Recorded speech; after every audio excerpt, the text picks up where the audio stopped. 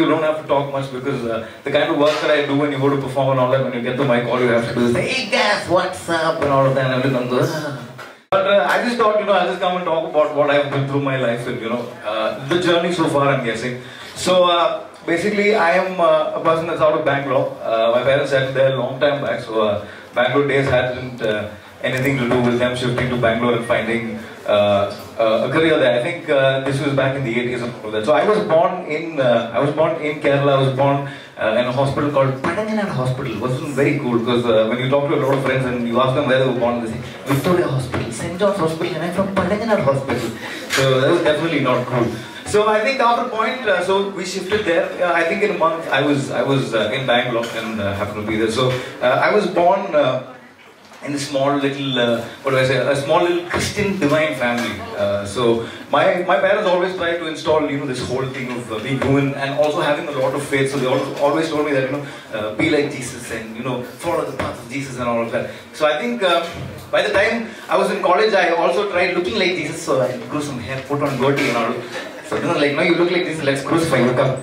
So, we went on to that. So, uh, talking of faith was when, uh, so there was this time I was a little boy, I think I was like three or four, something like that. So my parents, uh, so they used to like right after prayer. So we had this evening conda sessions, if you know. So right after prayer, what they used to do is, uh, you know, uh, I was supposed to go and kneel down in front of Jesus, and uh, I was supposed to pray of what I wanted. And what I wanted at that point of time was just mango bites because I absolutely loved having chocolate. So I closed my eyes and I would just go, please, I need mango bite, I need mango bite, and suddenly like like from nowhere from the heavens would fall a mango bite and I would open and Jesus gave me like a mango bite and I was so happy. And made me happy. And this went on for a very very long time. Well actually uh, like you all know the truth is that my dad was like right there and he would come and throw this mango bite and he would run back like that. So that was the actual scene. So this kept on going for a, for, for quite some time because I was dumb. So after after I guess one point of time uh, I wasn't too happy with the mango bite scene. So once when we closed, once when I was supposed to, when I was kneeling down, I was closing, I said, "എന്റെ ദൈവമേ, എനിക്ക് നീ ഒരു aeroplane തന്നെ, എനിക്ക് നീ ഒരു aeroplane തന്നെ." And then suddenly my mango bite fell again. And I'm like, I wasn't, I wasn't happy with that. So I closed my eyes and I prayed again for it. And then one more mango bite. So then I wasn't completely happy with that fact. So I didn't take the mango bites and I kept praying every day to get my aeroplane, but that like completely didn't happen. So uh, towards the end, my parents had to reveal the secret about you know what's been happening, and you know uh, he was the one that was throwing the mango bites. It's like I think it's more of like Scooby Doo. If you watch Scooby Doo towards uh, uh, the end of every episode, like you know there's a monster, and then they remove the mask, and then it's some dude who's known from around. So it was Jesus. I removed the mask. Was my dad. So it was more like that. So. Uh, I think uh, uh, I think two two things to kind of take away from the story is the fact that uh, uh, number one, don't buy anything uh, in wholesale, especially when you know when, when you have no idea if this will actually keep selling for a long time. My dad bought a lot of mango bites, like so many mango bites. He was basically, uh, I think he was uh, like a startup and he wasn't being funded, so it uh, led the family into poverty uh, of buying mango bites. I think he, he thought he'll use it forever. Like even when I get married, when everyone's throwing flowers saying Mangalyam Tandanana, he'll be throwing mango bites saying Mangalyam Tandanana. No, that didn't work. So it kept on happening for a long time. So whatever. So the number two, uh, whatever number two, matters matasamala. But the second point that I want to say is that uh, I've never compromised. I wanted my aeroplane, and I kept praying for that. And once I figured that I wouldn't get it, I uh, I completely lost it, and I and I didn't go to pick up my mango bites because I wouldn't like you know ever ever compromise. So I dreamed big, not saying that you know I actually bought uh, a plane. The closest I've uh, got to a plane is dosa. So uh, yeah, so leaving that, so uh, so yeah, that went on for uh, quite a long time, I'm guessing. So I think back in school, we're all, we're all asked this question of what we want to become when we become big, and you know, all of all of them have their answer. So I think this is when I was in, uh, I'm guessing second or third or something like that. So yeah, so this, uh, so teacher asked, what do you want to become? So it's starting from like you know front. Okay, so I'm sitting in the last. Obviously, I'm the cool dude. So I'm sitting in the back. So then about one half and almost all the people done. No, you kind of get to know that all these days you haven't been living in a classroom, but it's actually like one mini police station because every other dude wants to become a cop. Okay, what do you want to become? Police. What do you want to become? Police. Or some dude wants to become Undertaker. He wants to have seven lives and all that. So. So it was my turn uh, to to uh, to tell what I wanted to become, and uh, I at that I hadn't thought about that till that point of time, and then when my turn came, I just stood up and I said, I want to become a Joker, and uh, everyone started laughing. Uh, well, not Joker from Batman. Well, I meant that I wanted to become a clown because. Uh, I thought the clown was always, you know, the most. Uh, whenever I went to circus, I think at that point of time, entertainment for me was, you know, the biggest form of entertainment at that point of time was always going to a circus, and I and I thought that the clown was the funniest. Somewhere he owned the show. He made you, he made you laugh. He made you clap. He made you, he made you take off all the all those negative things that you had about life. At that point, negative points were, you know, going back to school the next day. But uh, yeah, I'm saying I said Joker because. Uh, you know, I didn't watch circus in Disney World, I watched it in Jumbo Circus. And in Jumbo Circus, like a clown was called a joker. So at that point, it was that. I, I think I think towards the end of it, I, I think when I think about it now, I, I just uh, I just think that all I wanted to be was an entertainment, and that was the word. The the, the joker really entertained me, and uh, that was uh, something that I wanted to be. So uh, then full it kept on going from there. Then uh, I came to school. So in school, because I had all these things that I wanted to do, like you know, school was like super not happening for me because uh, you know they didn't uh, uh, appreciate all these things. They wanted you to study, and uh, I was like, we don't need no education but uh, yeah, it, uh, it didn't quite uh, work out well for me. I was, I was like super, super duper bad at school and I wanted to do a lot of different things, but I was never given the opportunity to because uh, when, when they said, you know, we have Christmas carols, who wants to sing? I would raise my hand and say, you, no, you study first. Me, I didn't me, okay. So, so that happened. Uh, so I think uh, after all that, uh, I would just forward them. But I think in my head, always, you know, I wanted to uh, just be something as I am I am from the, I'm from, I'm like a kid of the 90s. How many from you, how many of you like, you know, from the 90s here? Yeah, a lot of you. എത്ര പേര് ninety അടിച്ചോണ്ട് വന്നല്ല ഞാൻ ചോദിച്ചത് I was kidding, sorry. So, uh, I think one thing about being born in the 90s is that, you know, you, uh, for me personally, I've grown up listening to so much good music, uh, so many good mu- movies, and, you know, I think now that kind of art doesn't kind of exist somewhere, I do feel, because it was, it was so good, it was so real back then is what I felt. So, uh, I think I grew up. I grew up listening to a lot of, uh, let's say, some Westlife, some Backstreet Boys, and you know, some music like that. Once, so I think uh, at a point after listening to their songs on loop, I kind of felt that you know this is what I wanted to become. I wanted to make music like this. So uh, I wanted to listen to how I I uh, you know sound on probably a cassette. So uh, so you can't. I, I so back in the day when you wanted to record yourself on a cassette, you can't. Uh, if you do that, you will end up spoiling uh, you know what is actually running in that cassette. Like if I would go and record like a Backstreet Boys, like on a Backstreet Boys uh, cassette, I would ruin their song and I would have my voice there. So I didn't want to do that. So I opted to pick my parents' devotional their cassettes, and I recorded my. So it would start with when they play, it would be like Deva Sneham Varnichida, just beat it. yeah. so yeah, it was like that. Okay. So. Uh, so at that point of time, I completely had this thing, dude. So I want to do music, and I want to do all of those. Uh, you know, I just want to make music, dude. I think after watching uh, larger-than-life artists like Michael Jackson and, uh, Ricky Martin and Bryan Adams, so many people, dude. I think they made people move with joy, with tears, and I just wanted to be like that. Just, uh, just live that uh, larger-than-life dream. Until in 19 sometime, one dude came, bro. Do you have my pen drive? I've given. Dude, do you know this guy? Do you know this guy? Yes or no? Yes. Everyone does. Kuvan Malukarao, and who doesn't know Kunchacko Boban? So I think back in the day, so uh, Niram was the first film that I happened to watch of Kunchacko Boban, and I was blown by that thing. Was my my jam at that point of time. I've danced that song. Uh, I've, I've really lost count on how many times I've actually like you know danced that song. So Kunchacko Boban had something about him that was so uh, young. It was something that you know I hadn't kind of seen before. So at that point of time, like I was, I think I was like the biggest fan of Kunchacko I mean, uh, the girls who cut their veins are different, but I was also a very big fan. Like I would take a bullet for Kunchacko. I would have really taken a bullet for Kunchacko Boban at that point of time with a bulletproof jacket, but I would take it. so anyway. So uh, I so the movie that actually caught my attention at that point of time, as I said, is Niram, and I was like, dude, this is what I want to do. I want to be on screen. I want to dance. I want to act and do all of that. Until 2000 came, and then came my next idol, Varading. You know this dude, right? Oh man, who doesn't? I mean, check out that Dunia. I think, like seriously, like this was like I think this is that time where you know they had most sales of that banyan happening. So I got one for myself, but uh, I think I kind of ended up looking like uh, Ramanan from Punjabi House. I honestly. yeah. So, why you are full happy that I'm looking like Ramanan from Punjabi. Okay. Anyway, so uh, that happened. So I think when I saw Hrithik Roshan, dude, I was like blown. I mean, look at that dude. Look at his bison on. I was like, dude, I wanted to be like this. When this film uh, in the movie Kaho Naa Pyaar, and I'm guessing that's probably the first uh, uh, Hindi film that I watched.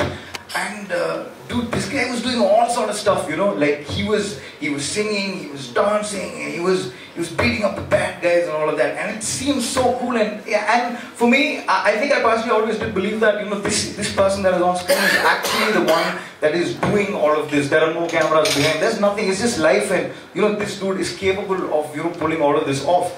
So. Uh, I just, you know, instantly just became a Hrithik Roshan fan, and uh, that day I decided, I think at uh, this probably at the age of seven or eight, what I want to be is a star. I wanted to be super duper star. Well, my parents didn't approve of that idea, so my school also didn't. So as I said, school went very, very, very, very bad. So I went on to college. Uh, college happened. I think, I think by the time college happened, yeah. So that's when I was telling my parents, you know, I wanted to do an album and all that. So my mom only knew that photo album and all of that. So they didn't have idea about all of that. So uh, at one point of time, somehow I agreed. I, I, I somehow convinced them that you know this is what I actually wanted to do, and uh, finally I did.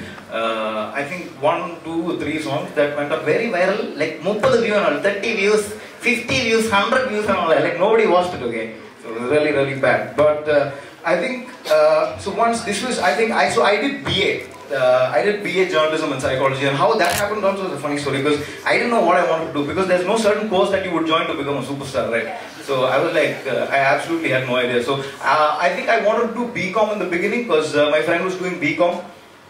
So I uh, I went uh, I think I went a little late for admissions or something like that. So by the time I got there, the admissions for uh, BCom was over, and they said only BA. So for me, it was like you know going to a hotel and saying "Chata, very fried rice." He said no fried rice, only noodles. I said ah, birthday. So I said okay, and then we do BA. So I did BA like that. So towards the final, uh, towards the final year of BA, okay. So I, it was it was at that time. So uh, I had I had like zero attendance. I think I had four or five percent attendance. I'm guessing it was really bad. So you have to. So there's one way where you can pay a lot of money and then just you know uh, get your attendance thing together, and then you can go write your exams and done. So I thought, you know, uh, I mean, that was my only option. So my parents gave me some money. It was, I think it was around some 15, 20 grand or something like that. So I was going to pay this. Uh, I think my exam was probably uh, like, you know, in a few days. I think in a week from the day something happened to me. And what that something was that I was going uh, in the middle of the night. I was I was driving my car and I was just going. And you know, I think. Uh, uh, Bangalore, as of now, I think everybody relates to Bangalore with a lot of traffic and all of that. But Bangalore wasn't uh, absolutely a place. It was, it was known to be like Garden City and all of that. So I kind of felt I, like at two in the night, you kind of feel that way because no one's around. So uh, I just, uh, I don't know. I just said this is Bengaluru in my head, and I have this thing of uh, automatically trying to rhyme every uh, thing to my previous sentence. So the next thing I said was, "You can call me Guru." Uh, so guru means like how you say Alaya, Machan, all that. So in Bangalore they say guru. So I said, this is Bengaluru. You can call me guru. There's something about this uru. So I got that and the tune came into my head. I was like, damn dude, I have to do this. This is maybe my song. So the next day I sat down and I wrote that song. No, I wanted to do that song. I was very adamant that I finish the song as soon as possible. But uh, with my uh, my previous wonderful hits of 50 and 100 views, and with no money left with me to do all of this, this is not an option. So, uh, I think uh, I had to take uh, one of the biggest decisions of my life. So this is where, so this is my exam day. So I get my exam day, and so morning I'm supposed to go pay my fine. If I pay my fine, I can just go and write my exam. So that was that was the scene happening. So in my head, I'm still thinking maybe if I use this money, I can actually finish my song and I could actually release it. So uh, I remember, so this is this is my college, and I was at the bakery. I was I ordered one tea and one puff, an egg puff, and I'm putting and I'm and I'm thinking, you know, I, I made the biggest decision of my life. The biggest decision of my life was was actually if I should eat the puffs or not, because at the same time I saw like one cockroach going near the glass where they display all the puffs and all again. So, but I still ate it because I was hungry, and I also decided that. Uh, I'm gonna write it. I want to do my music, and this is what I want to do, and I'll go ahead and doing my song, and I did it. I think uh, uh, at that point of time, I think uh, that that was my first ever video to hit one million views, man. So that was like, dude, finally. Yeah. Yeah, it was great and all that, but it was it was it was at least like you know it's better than getting 50 and 100 views to and it was somewhere that you know where you're being recognized for something that you actually want to do. Uh, so that happened, and uh, after that, at the same time, uh, another thing that was happening here was that you know I, I kind of did a few short films and all that uh, here and there, here and there. So uh, uh, one of my friends happened to have this script that I really liked, and he said that you know he wanted me to do the central character of the film, and uh, I I totally wanted to do it. So, but at the same time, like you know, nobody would invest on a newcomer, on a new face. I mean, look at this face. Who would invest? So that was the scene. So for me, uh, for me, uh, like you know, I wanted my my first focus was being here in the Malayalam industry. Is where I wanted to do my movies and all of that. So uh, what I thought, you know, maybe I should build my market here up in Kerala where people absolutely do not know me, and that's when a song called "I'm a Mallu" happened. So "I'm a Mallu" happened quite well for me, and uh, people, at least some people, got to know who this dude is. So with that, finally, again, my uh, my uh, director went on pitching uh, this face to produce the thing. See, this is the guy from I'm a Mallu. Can we have the film with him? And then again, they were here and they were okay with it, but at the same time, they were confused. You know, if you know this guy because the character in the film had to be a student, you know, who's who's doing his level. So uh, I was I looked a little more older uh, in I'm. See, that was me. Smoking is injurious to health. I don't know what I'm smoking though. I was a BD dude. I only smoked like 20 BDs for that shot. It wasn't good. Like, goes guys. Yeah. Whatever. Uh, so that kept happening. So uh, by the end, so the whole thing was, you know, if I would be able to pull off a character which uh, in which I was supposed to look like a boy. So that was my next question. So which then I thought and made a song called Break Free in which I happened to look like that. So I didn't do anything much. I just shaved. But uh, the dudes weren't convinced in the first place, so which is why this song happened. And that song kind of ended up working for me again. And then called me the producer who happened to produce the, the film that probably I was so inspired by. I remember I told you how much, you know, Niram got into me and all of that. So the same producer of Niram happened to call me up and he told me that, you know, uh, I like what you're doing. So, you know, maybe we should do a film together.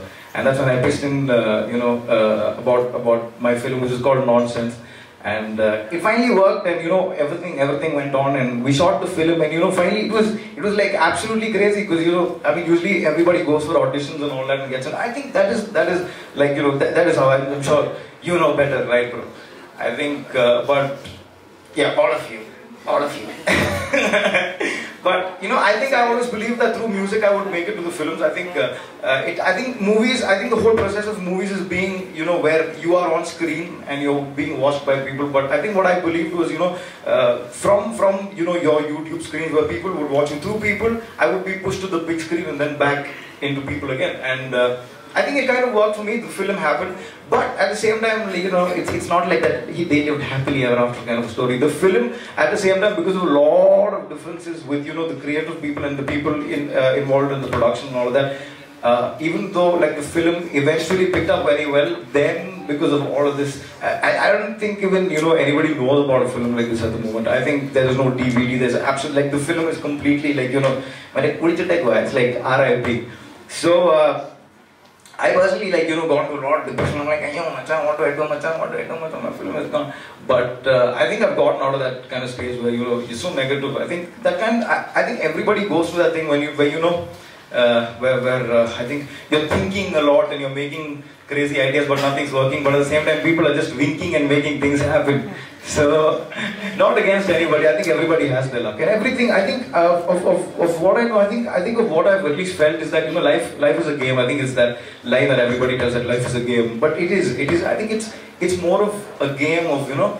It's more of like chess and snake and ladder together, where you use your brains and you think that you know this is my next move and I'm going to play it like that, and you know you keep moving it and you keep moving it, and towards the end, all of a sudden it becomes snake and ladder because you're at 98 and at 99 there's that big snake that will get you all the way back to 2 right when discovery channel hasn't discovered that snake yet it's like that big so it's that chord. So that snake bit me, and it put me all the way down. So I'm here. So what do I do next? So I was depressed. I said, you know, a lot of thinking and all of that. But I think you know what you have to do. I think with anybody that's probably failed, I think everyone's failed. Dude. I think to be success, to be successful, you need to fail. So you just roll the dice and start playing again.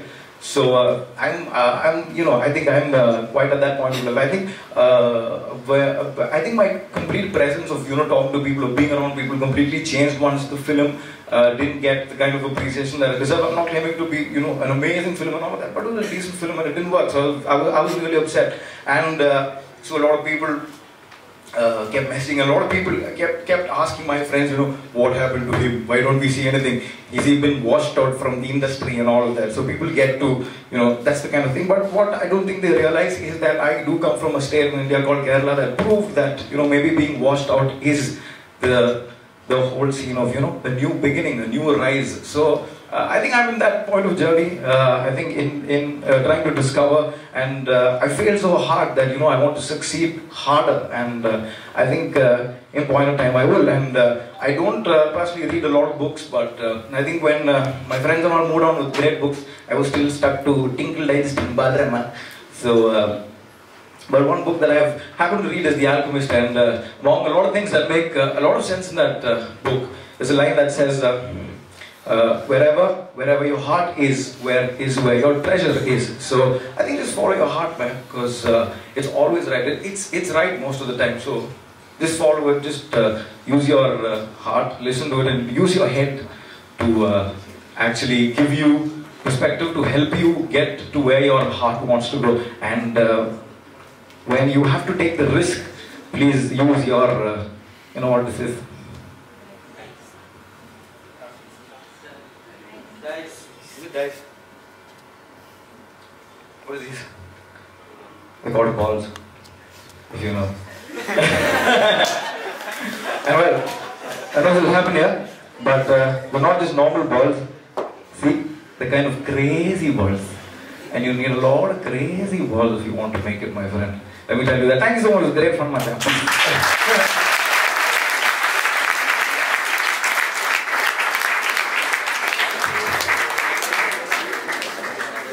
Now this is one speaker who nobody will forget traveling from Mango Bites to Mallu Could you please sing two lines for us? Yeah, definitely. So it's very, very simple. Uh, if you don't know, every time I do the M-A-L-L-U, M-A-L-L-U, what you have to say is, I'm uh, Mallu. Let's give it a shot. M-A-L-L-U, M-A-L-L-U. M-A-L-L-U, M-A-L-L-U. M-A-L-L-U, M-A-L-L-U. M-A-L-L-U, L-A-L-A-L-A. I'm from the southern part of India, and yes, I'm a Malayali. Kera is this guy who will be chilling with Mahabali. I share a fishy bang with the dude who is a Bengali. Now that's a nice girl. Are you a fan of Devin Polly? You can me everywhere in every freaking gully. Huh? Life of the two, bro. My friends told me Aya. I see what you like. And I said, say Porokan beef curry. I know beef is bad, bro. But any kid beef. We got them girls with the Kiembo. We also got the Icky Gold. Our movies always running and sold. A cheese, sorry, bad cold. We be eating meat with rice and dal. We will be watching Mohanlal. We be pasted on the edge. After small FMH, Amma. M-A-L-L-U, M-A-L-L-U. M-A-L-L-U, M-A-L-L-U. M-A-L-L-U, M-A-L-L-U. M-A-L-L-U, L-A-L-A-L-A-L-L-U. Thank you.